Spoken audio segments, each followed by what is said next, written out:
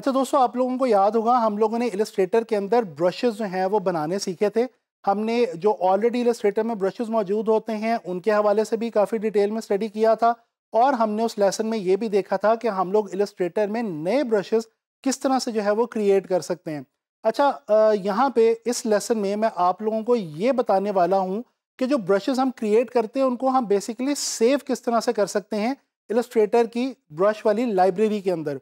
दोस्तों, होता ये है कि जब हम इलस्ट्रेटर में कोई भी ब्रश क्रिएट करते हैं और जब नया डॉक्यूमेंट ओपन करते हैं तो वो क्रिएट तो हो गया होता है, लेकिन नए डॉक्यूमेंट में हमें नज़र नहीं आता।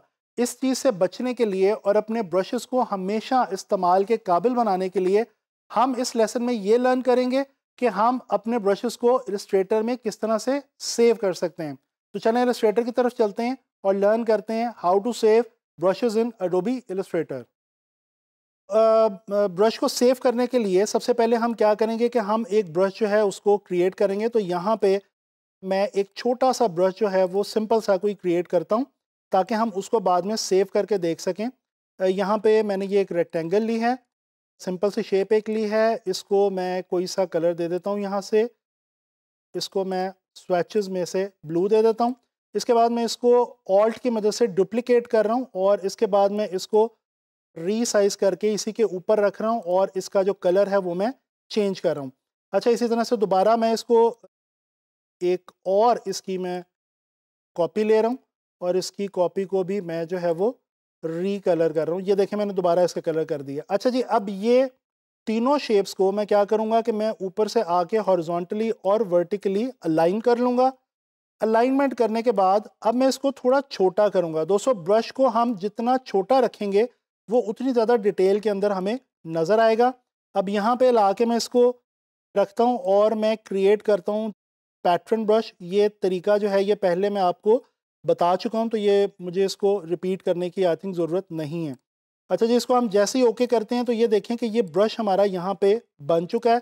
अगर मैं यहाँ से कोई भी शेप लूँ और इसको मैं इसके स्ट्रोक के अंदर आके अप्लाई करूँ तो ये देखें एक बहुत ही खूबसूरत सा जो ब्रश है, हमारा पैटर्न ब्रश, वो एक बन गया हुआ है।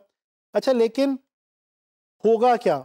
मैं जैसे ही कंट्रोल एन करता हूँ और न्यू डॉक्यूमेंट लेता हूँ तो यहाँ पे देखें ब्रश लाइब्रेरी के अंदर ब्रश के जो पैनल है, इस पैनल के अंदर यहाँ पे वो ब्रश जो मैंने यहाँ पे क्रिएट किया था, नज़र नहीं आ रहा, क्योंकि मैंने ब्रश क्रिएट तो किया, लेकिन उसे अभी सेव नहीं किया।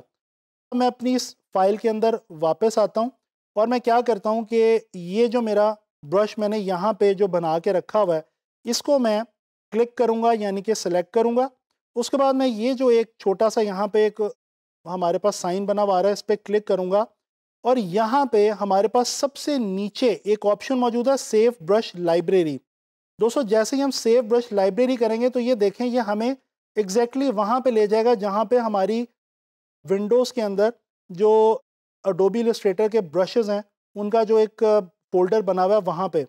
अब इसको मैं रीनेम कर सकता हूँ अपनी मर्ज़ी से। इसको मैं कह देता हूँ जी पैटर्न ब्रश, फॉर एग्ज़ाम्पल और इसको मैं कर देता हूँ सेव। दोस्तों, अब ये जो मेरा ब्रश है, ये सेव हो चुका है।